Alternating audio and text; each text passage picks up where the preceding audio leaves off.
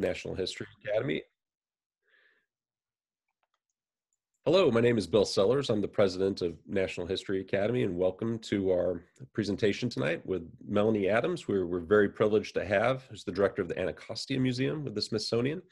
Uh, also with us tonight is, is Dr. Brent Glass. Uh, Dr. Glass will be introducing uh, Dr. Adams. Um, and uh, Dr. Glass has been a, um, a, partner of National History Academy from the, the very beginning. He's a director emeritus of the Smithsonian National Museum of American History uh, where he oversaw a transformation of that museum uh, in the early 2000s.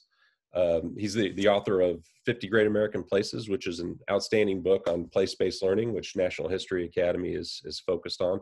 Uh, we're now in the third week of our summer programs with the Academy. We have uh, uh, over 300 students who've been involved with the, the program this summer from all around the country and all around the world. And we're thrilled to have uh, Melanie Adams and, and Brent Glass with us tonight. So with that, I will turn it over to you, Brent. Thank you, Bill. And it's my great pleasure to introduce a friend and colleague, Melanie Adams. Uh, she is the director of the Smithsonian's Anacostia uh, Community Museum in Washington, D.C. Uh, she has more than 25 years of experience of community engagement with museums and higher education. And she brings, uh, she's dedicated to bringing stakeholders together to address relevant community issues. She's in a perfect place now in her career to do this. From 2016 to 2019, she served as the Deputy Director for Learning Initiatives at the Minnesota Historical Society.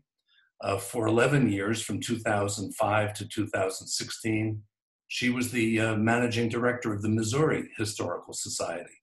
She oversaw more than 700 St. Louis community programs annually, including events with more than 100 community partners.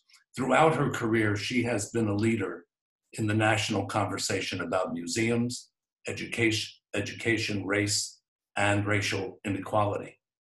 Uh, Dr. Adams holds a bachelor's degree in English and African American Studies from the University of Virginia, a master's degree in education from the University of Vermont, and a doctorate from the University of Missouri St. Louis in educational leadership and policy studies.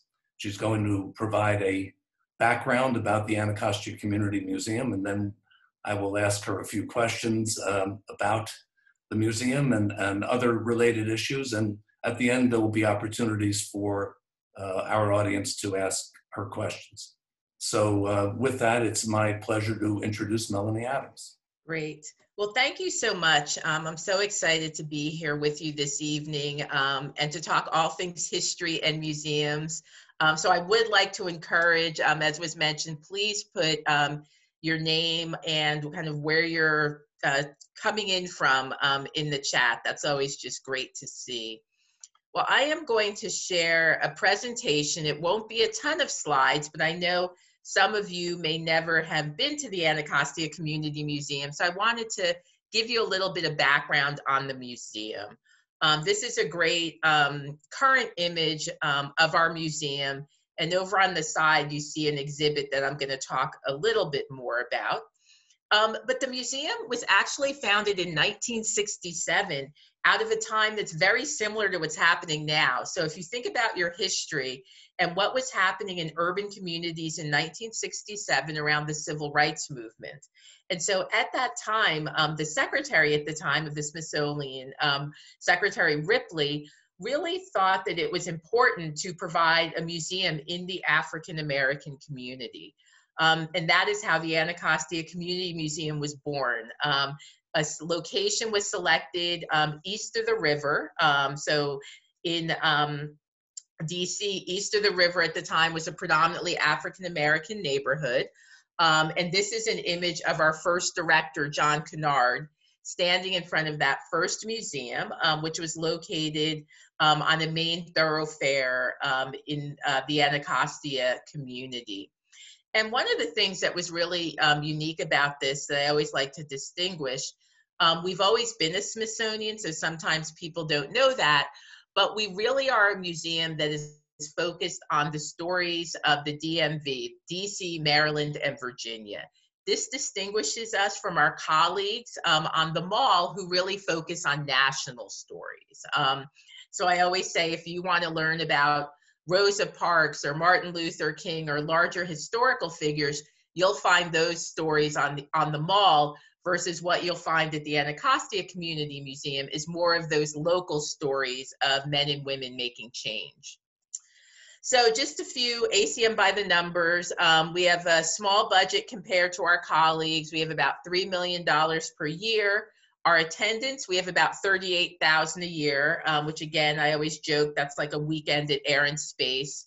Um, and our staff, we have about anywhere from 13 to 15 um, full-time employees at any time, and then a slew of contractors. So I wanted to share our uh, mission and vision because this is really important. And I know as history students and history buffs, you've probably been to quite a few museums. And traditionally, museums' mission and vision are really focused on collections, objects, items. So most missions, you're going to see words like collect, preserve, share. And one of the things that really drew me to this position was the mission statement, which centers community. So together with local communities, the Anacostia Community Museum illuminates and amplifies our collective power. So that mission really spoke to me because it centered the work and the people of the community and then more importantly our vision. Um, so for organizations your mission is what you do on a daily basis and your vision is really what you strive to do. And so one of the things that's really important to me in the work that we're doing at our museum is really focusing on that vision. And i think you know these last two years um, have been shown more important than ever why it's important to focus on this. And so our vision is hoping that urban communities activate their collective power for a more equitable future. So the exhibit I'm going to briefly talk about to give you an idea of the type of work we do at the museum.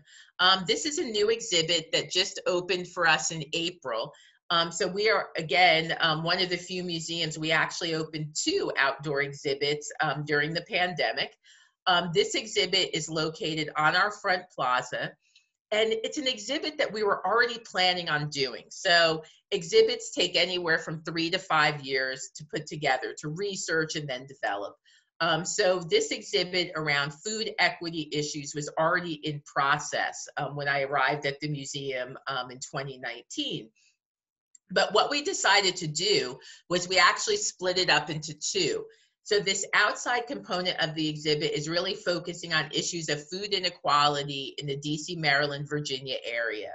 Um, and so what it does is it really shows you um, the inequality that happens in our food spaces in communities, um, usually based on issues of race and um, economics. So this is a great example, and I'm sure depending upon where you're living, it's something very similar in your community. So um, on the left, you see DC Ward 3, and Ward 3 um, is, like, is where Georgetown is located. So it's a fairly affluent area in DC. And they have one full service grocery store for every 9,000 residents. Then when you go to Ward 8, which is um, where the museum is located, we have one grocery store for every 85,000 residents. Um, so these are the types of facts and figures um, we talk about in this outside exhibit. We also focus on the people and organizations in the DMV who are working to make positive change um, in the food space related to food equity. So you'll kind of see their stories um, scattered throughout um, the exhibit as well.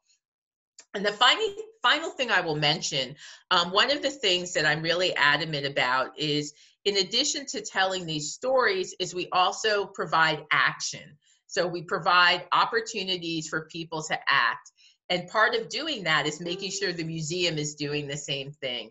So we partnered with an organization called Feed the Fridge, which is here in um, DC.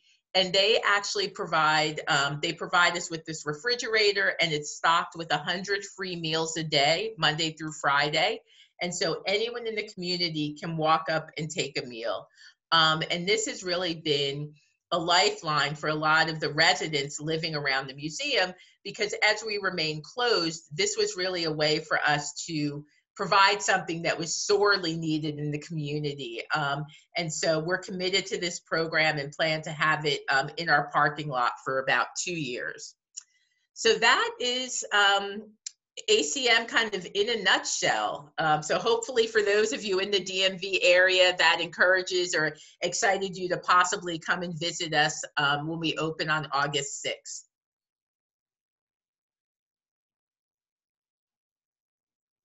No, and Brent, I think you're muted.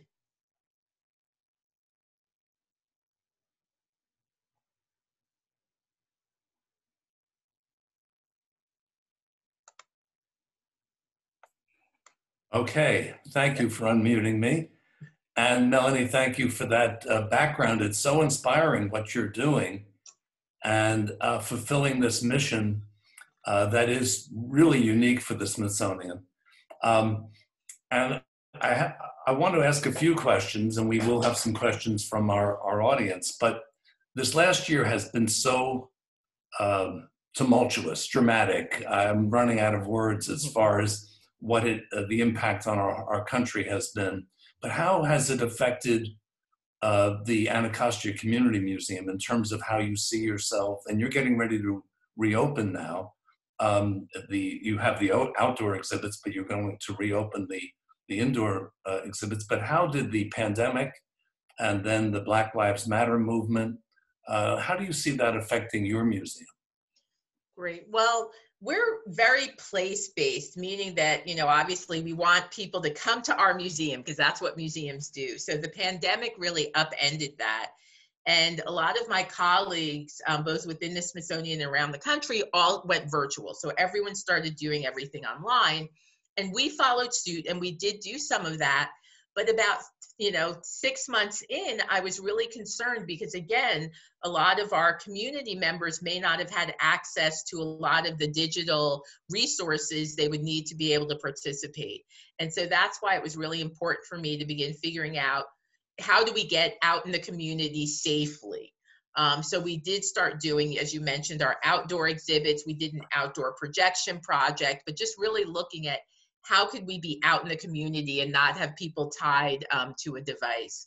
And i think with george floyd that you know one of the things that was really important there is that's the type of work we've always done. So again that's the reason why i really love acm is we're not pivoting we're not changing. That is within our dna mm-hmm. is to address the issues um, related to um, communities. And so I would say we didn't do anything different. We continued to do the work that we have always done. Um, but one of the things I will briefly mention that was um, a little more creative, I think, was as you've mentioned, we did have an outdoor exhibit um, called Men of Change, which looks at stories of African American men. But the great thing was my um, education director actually worked with the DC public um, jails and so we mm-hmm. were able to put that content on tablets that then went to the men and women who were in the DC jails. So again, it also really encouraged us to expand our definition of community. So just because you can't physically come to our museum doesn't mean you are not a member of our community. That's that's um, it's inspiring, and it also I think reinforces the uh, the notion that museum, I think people think of museums as, as passive um, experiences. And yet, you, as you say, you've been doing this, and the, the museum's been doing this kind of active engagement for quite a while. And, and I think it'll be maybe sort take several generations before people realize that museums are, are um, activist and, um, and not only um, putting uh, uh, exi- uh, artifacts on display, what will people see when they come inside the museum? When you, so the inside, we're going to focus on food history, culture, and organizing. So you'll see a lot of stories related to um, food organizing within the exhibit, but also the food process. So we wanted to uncover, mm. you know, people only think about what's at their table or what's at their local grocery store, and so they're looking at kind of the larger process and the way my um, curator decided to do it is he's going to follow a chicken wing. Since chicken wings, you know, at happy hour, that's what everyone does. So he has a chicken wing from the minute it leaves the chicken all the way through the process. have, have you, um, did this, was this an occasion for you to add to your collection in any way? Did you have any uh, new, new artifacts and new collections coming in? We actually did. Um, so we did participate with um, American history and African American history and culture on a little collecting that happened at Black Lives Matter Plaza. Um, but again, we really wanted to make sure we had a local focus. So we also made sure we went to um, the protests that were happening in smaller communities around DC, Maryland, and Virginia. So we didn't necessarily only focus on that. And the other thing we did was we've started a collecting initiative with the Asian Pacific community around foodways. So mm-hmm. that ties in with our um, Food for the People exhibit. So we started collecting both stories and artifacts from that community. That that um, that is interesting because the Anacostia community itself has changed. The the the, the, the uh, population uh, demography has changed, and so you ha- do you find the museum is trying to change along with that? Right, and I think you know that's really what's happening in all of DC. Really, that changing demographic, and so I think one of the things um, mm-hmm. that's exciting for the museum is figuring out who is our community and how we can best serve them. Um, so we do have new people moving into the community, people moving out, um, diverse cultures, and really figuring out kind of what what it, what brings people together, what is the common denominator, and how can we help with that. Mm-hmm. Do you uh, will you have, in addition to exhibits, uh, program uh, ongoing programs related to this uh, this theme? Yes, yes. So um, what I decided to do, we actually, it's a whole year long theme. So each year we have a different theme, and this year it's related to food. And so on our program side, we're actually doing um, a Black Panthers breakfast box. Um, so we're working with um, some of the DC public schools located near the museum to create a box that'll recreate um, as best as we can some of the food that would be in there, but more importantly, the information mm-hmm. about the Black Panthers, um, because that's something, again, that's in the exhibit. Um, and then we're also doing more traditional online lectures. And we also have a garden series because, as you know, during COVID, everyone started growing gardens and mm-hmm. really looking at gardens, but also looking at the history of gardens in African American communities. So, for a lot of African Americans, you know, it's been substance, a substance. It hasn't been this hobby. Um, so really talking about that history as well. Do you have a, a garden, outdoor garden space? Do. do. you have? A- we have five um, outdoor garden beds that we put in um, last September. So we're able to kind of do programs on site and do harvest and everything. That's great. So, what do you say is the biggest challenge? And I know, having worked in the Smithsonian, that the and worked at one of the big mall um, museums that we tend to um, dominate the public attention. But as as a museum that's community based, what are some of the biggest uh, challenges you have? I think some of I think my biggest challenge, and again, this ties with the Smithsonian, is really trying to determine how do we measure our impact. Mm-hmm. And I say that because um, my colleagues on the other side of the or on the mall they're always going to have the numbers. So you, they don't have to think about it. They can show impact because they had 4 million people walk through their doors. I can't show impact in the same way. So one of the mm-hmm. things I really want to figure out is how do we show our impact? Um, how do we show that us putting an exhibit in a community positively impacted that community? So I think mm-hmm. that's one of the biggest struggles. Yeah. Let me ask you to put your, your educator's hat on for a moment and but but it's related to being a museum director. There's so much talk now on the teaching of american history and especially the teaching of slavery jim crow civil rights um, the the ongoing narrative of of race and race relations and racial uh, inequality. How do you as an educator uh, how do you reflect on that Right. I think it's really important for us to think about it in terms of American history. And American history is not complete if we are not telling all of these stories. And I think it's important to also be able to put them in context um, because you're missing a lot, you're missing large parts of the story if they're not told it that if they're told in a way that excludes certain people. And I feel like when I was growing up and learning this, we did not learn any of that. I mean, I grew up in New Jersey, and I would say, you know, our education was woefully, I mean, we missed a lot. And now I think students are savvy. Students are going to ask questions. They know when you're leaving things out, and they'll they're able to connect the dots. And so I think history, if we expect to have informed citizens, we have to be able to tell them the story in a complete way. And I think the way we've taught history in the past has not been complete. You know, before we take any more questions, I, it, I any questions from the audience, it does uh, occur to me. You said growing up in New Jersey. What was the uh, pivotal moment for you that led you into becoming a educator and a historian? What what what inspired you to do that? That's a good question. I think my love of history did start in undergrad because I remember taking my first African American history course at Virginia. Before then, we essentially had nothing. Wow. Um, so really, that really opened my eyes to everything I didn't know. And even though I was in higher education student affairs, I still focused on that history. Like I remember one of the first programs I did, uh, my first job out was um, UC Berkeley. Mm-hmm. And I remember the first program I did was with Melba Pattillo Beals, who was one of the Little Rock Nine. Yes. She lived over in Marin.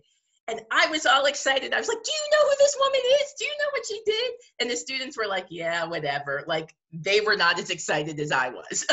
so I've always had that idea of kind of history. You have to know your history in order to know where you're going and where you came from. And so I've always had that love, even if I was in another field.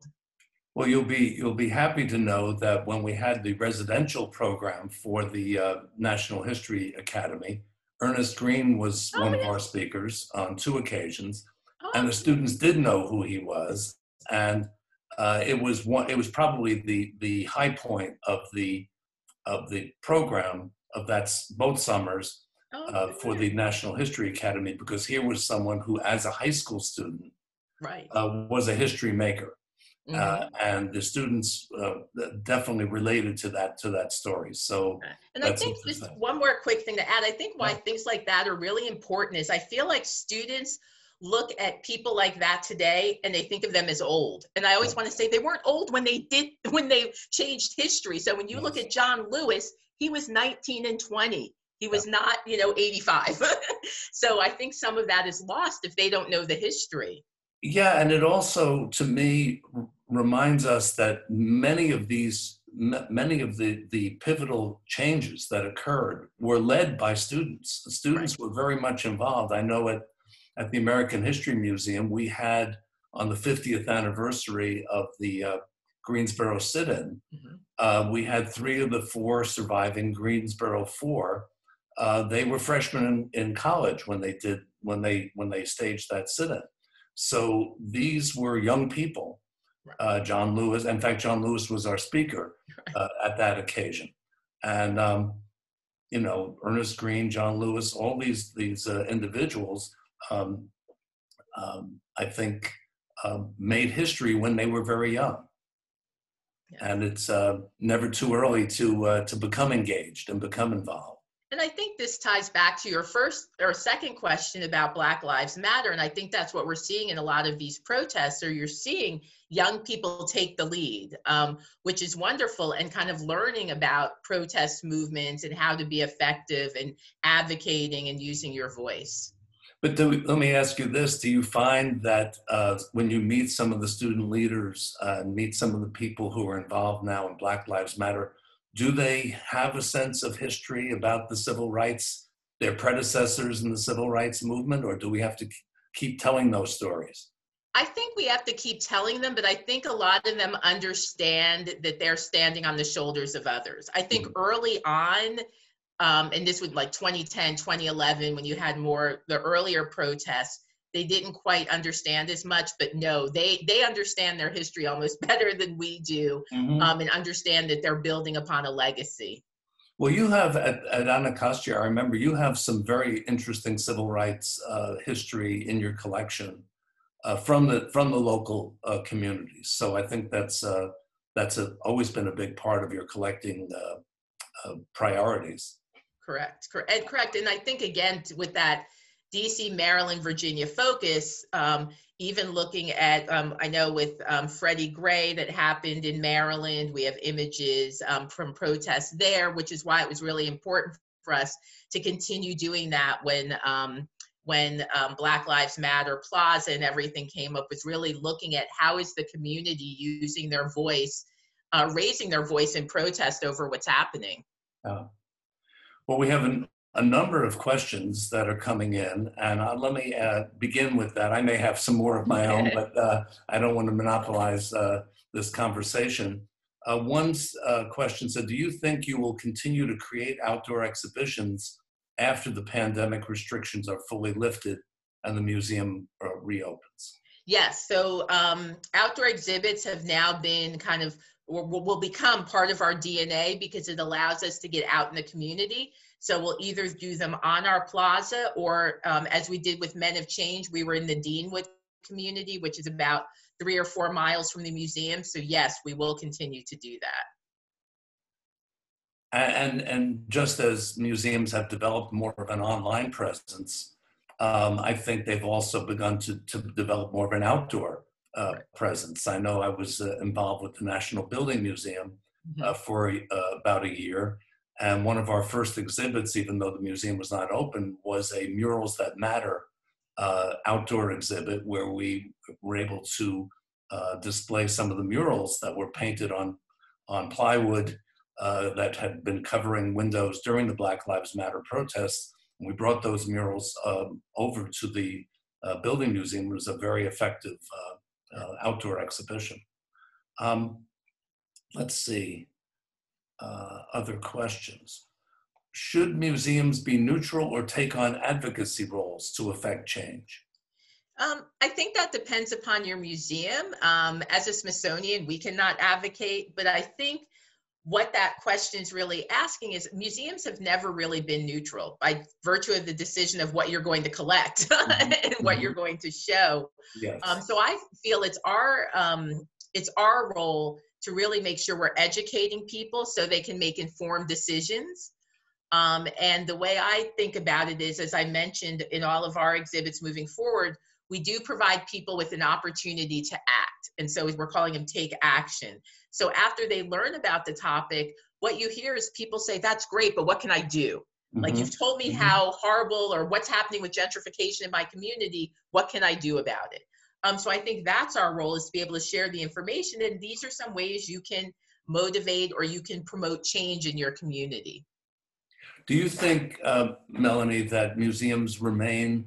I know I remember reading um, um, surveys that museums are trusted institutions.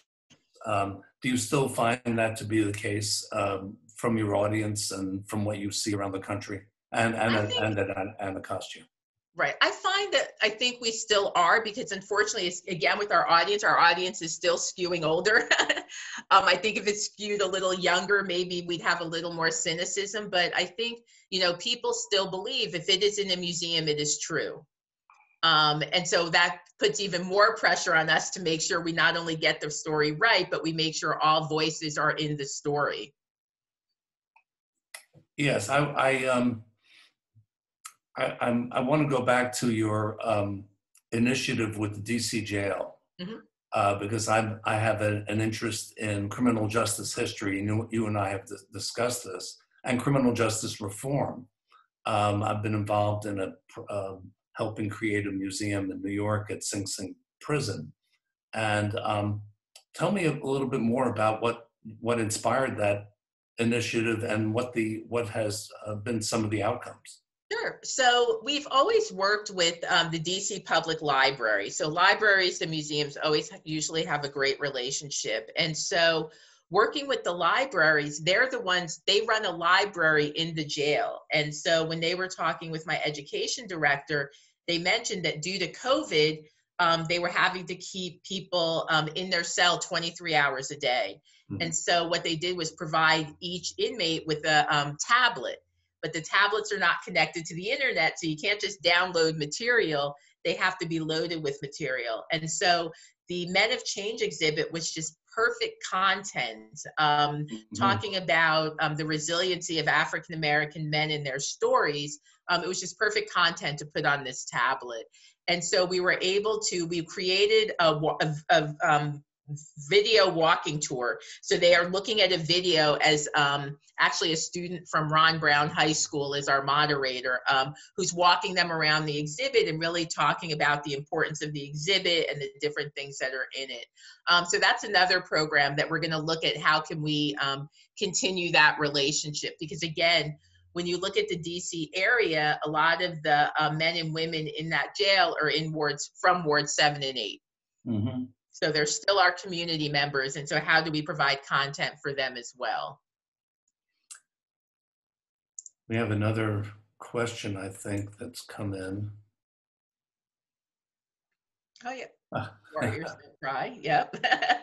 what do you do in your day to your job? What is what is it like to be a museum director? I remember I, before you answer, while you're thinking about it, when I was directing the American History Museum and we closed for renovation for two years, and I remember people saying to me, "Well, now what are you going to do? You you have you don't have anything to do because you're closed." But I think that's not really the case. But can you describe your your day to day Sure, sure. And that, you know, sounds like my mother. She was the same way. She's like, what do you do now? And I was like, I still have a lot to do. Um, a museum director's job is a lot of meetings it is a lot of meetings um, and yes. so that is still happening and we're all we're still planning um, so even though our building was closed we were still planning our exhibits our programs so there was really little difference in terms of the workload and i would almost have to say it was more while we were closed um, and so I think people are looking forward to getting back into a rhythm of being open and also welcoming visitors. But on a day to day basis, it's a lot of meetings. Um, one of the things when we're open, I always like to do is it's always great to just go down in the gallery and eavesdrop on people to mm-hmm. kind of hear how they're yes. enjoying the experience, kind of listening to what's resonating with them. Um, so that's one of the things I think I miss the most from being closed. That, that's a great point because I often found that the informal learning that goes on at a museum is is really important between the generations. You know, I would see uh, uh, children with their grandparents, and that sharing of information that you that really only happens in a museum or historic site. Because when you go to the theater, you you, you can't talk to your neighbor during the performance, but when you're at a museum, you're encouraged to to share that information. I think that's really important. Right. And I think, you know, to your point, that intergenerational um, connection, when I was in Missouri, um, we had a program, Teens Make History, which are teens who um, research, write, and perform plays, historically based plays. And the first play they did was about the sit ins in St. Louis, the lunch counter sit ins and one of the young women like her grandmother started telling her how she was involved and the girl was like i never knew any of this why mm-hmm. didn't i know any of this mm-hmm. and it's exactly yeah. like you said when they're kind of um, they see something and they start telling a story and talking it really brings out stories in a way that normally they wouldn't no no that's a great point um, when you are planning your exhibits and um, and programs, how involved does the community get, and what role do they play in shaping your decisions or the the uh, the, the whole plan for the for the uh, ex- exhibitions or programs? Yeah, so the way um, we work at the museum, and we're actually going to be going through a new um, exhibit planning process but we use the voices of the community to tell the story. And by that, I mean, for example, the one we have coming up um, on um, food history, culture, and justice. It's a lot, it's based on oral histories. So my curator, um, you know, for the last exhibit, he did over 200. This one, he did only about 100 because of COVID. Um, but it's really based on the stories and what he's learning um, during these oral histories, in addition to some obvious traditional research. So, really, the community helps us shape the stories we're going to tell because they're their stories. Mm-hmm. Um, and yeah. then, in terms of programs, we really try to do a lot of partnerships with the community. So, there are a variety of different ways. It could be um, a co created program, or mm-hmm. it could just be community members on a panel. So, it just really all depends. Do you do you anticipate continuing to use that process uh, for other exhibits? Going, I mean, food is such a, a, natural to engage, involve people. and I think it's it's a great gateway into um, into community history. Do you do you envision other other topics coming up that will involve the community in the same yeah. way? Yeah, I definitely think so. So, as I mentioned, um, for the next five years, we have all of our topics laid out. So, we have food this year. Next year, um, for 2022, we have housing, um, followed by um, the environment, education, and then ending with health. And all of that is leading up to 2026 and our country's 250th anniversary. So, essentially, we are examining all of these kind of issues around related to equity in those different areas and then for 2026 what type of future do we want to see mm-hmm. Well that, that leads into another question that came in as far as when you talk about equity the whole um, um, emphasis now on diversity and equity inclusion access justice um, how do you see museums performing in, in this area? I know we're, I'm old enough to remember the uh, Equity and Ex- Excellence uh, report in the early 1990s that the, uh, um, it was then called the American Association of Museums, uh, um, issued. Uh, but it's it's been slow, don't you think, in terms of diverse, diverse, uh, diversifying um, the museum staffing and boards?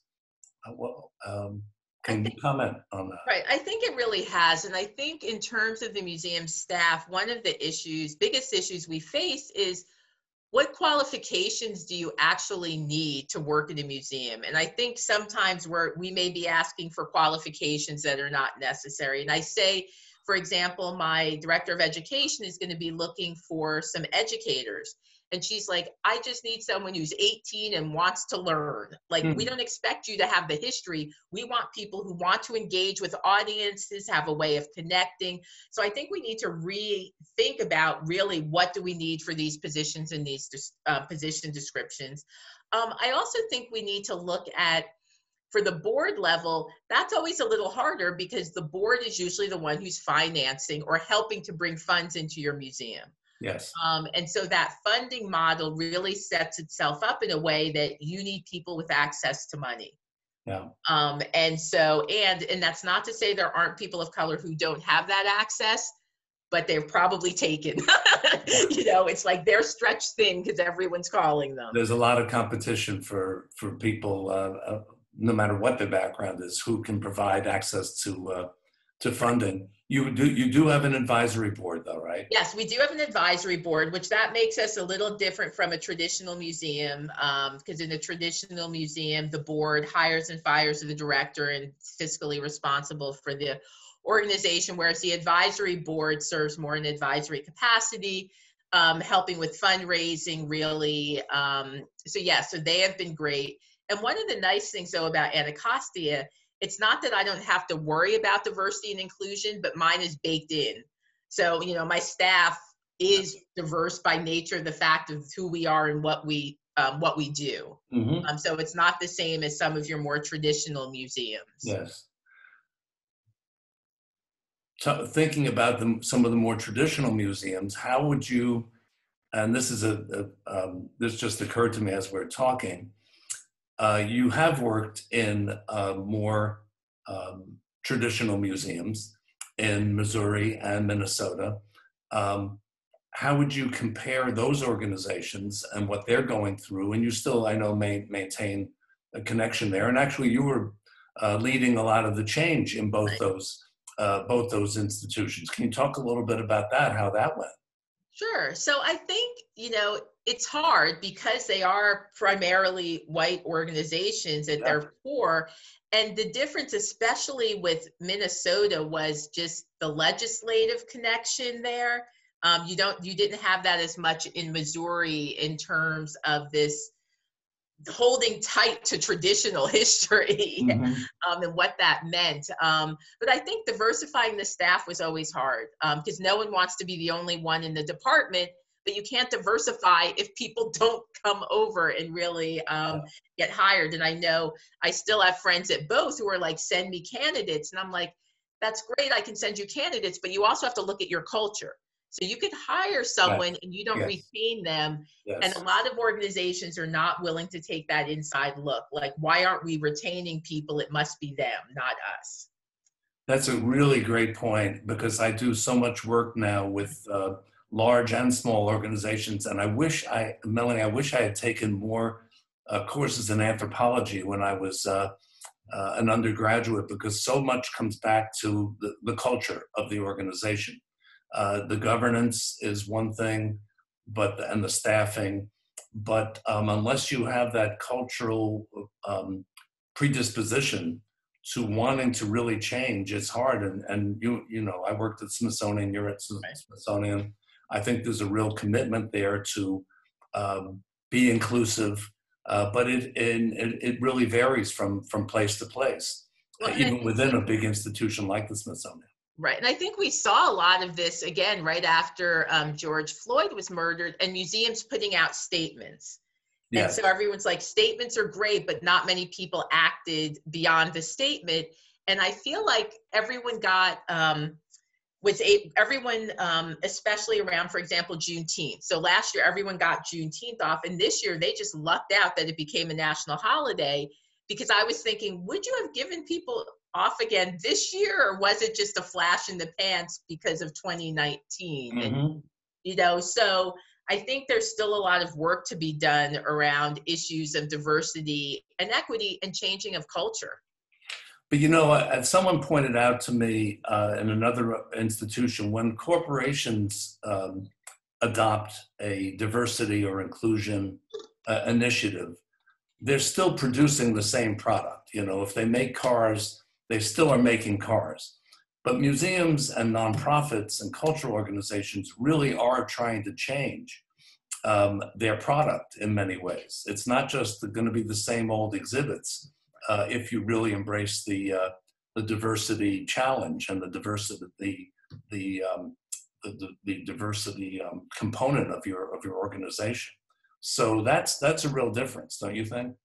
I think it is but i also think when you're looking at corporations you know when there's always some snafu that they did around issue of diversity you're always like no person of color was in the room when that decision was made or that wouldn't have happened um, And Mhm. so I think Yeah. where, whereas they might not be changing their product, maybe how they're promoting their product or who they're targeting their product um, towards, I think would be would shift a little because Yeah. like every other um, whether it's a product or whether it's a museum, our audiences have to shift. As the country changes, so must our product and our audience. Yeah, I think that's going to be the exciting thing in museums. Is is um, I've often uh, people will say, well, uh, you're all about your collection, and some museums have fabulous collections, and they're very co- collections driven. But more and more, I think museums are going to be audience driven, Mhm. and and uh, not only building audience but retaining it, and that's going to flow into more financial support uh, Right. for those museums to show their their connection to their community. Right. Well, and as you know, having run American history, we don't have any more space. There's no more space to collect. So I think it is really important to look at kind of what we're collecting and what story what story they will tell because space is precious. Yes. Well, let me see. I think there's. Um, I don't know if there's another um, comment. Let's see, outside exhibits. Yeah, I think the last one was your day-to-day job. I don't know if there were any that came on over Facebook Live at all. I'll ask. Um,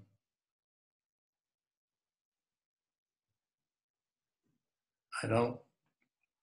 Oh, okay. We got one here. What is the one thing you hope people take away most from visiting the museum? That's a great question. Yeah, that is. I think the thing I hope they take away the most is they have the power to make change. Um, that is an individual. I mean, that's really what we focus on at our museum. You know, one of our taglines used to be, you know, um, ordinary people doing extraordinary things. So we're telling the stories of everyday people who are committed to making change in their neighborhood. So I want someone to come through our museum and have a spark of an idea to be able to say, oh, I can do this. I can do something similar. This person lived in my neighborhood. Um, Mhm. So to really see Mhm. themselves in the stories we're telling.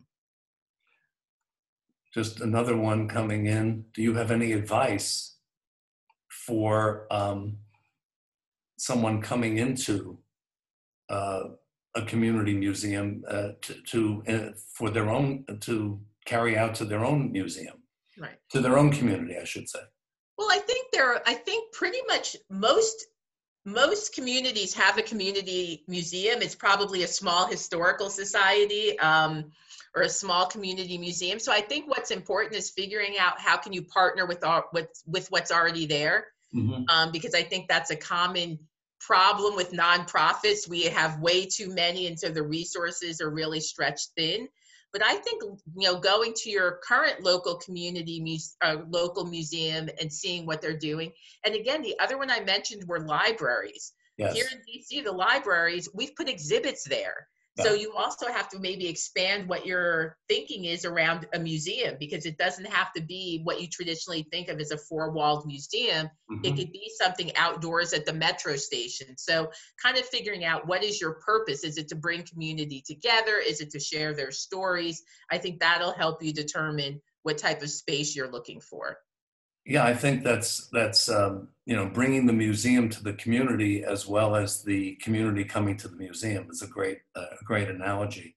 Well, you know, Melanie, I think we can go on and on with the conversation, but I I I'm so impressed with what you're doing, and I just can't think of a better fit at this particular time for the Anacostia Community Museum. And I've known several of the directors there, but uh, you're just in such a great place there, and uh, congratulations. Uh, You came in at a very challenging moment. You you came in at, the end of 2019, or yeah i came in in august of 2019 and then we shut down in march and Yeah. so i've been out of the office longer than i've been in the office well, it'll be great to see you get back in the office uh, with the museum opening on August 6th. And uh, for all our uh, people who are watching on Facebook and in this uh, Zoom uh, video conference, uh, please put that on your calendar. And thank you so much for uh, joining us and joining the National History Academy. And when we are uh, back in person, hopefully in the uh, not too distant future, we'd love for you to come and visit uh, in Oh, person. that would be wonderful i'd be excited to Thanks. Great. thank you everyone Bye bye.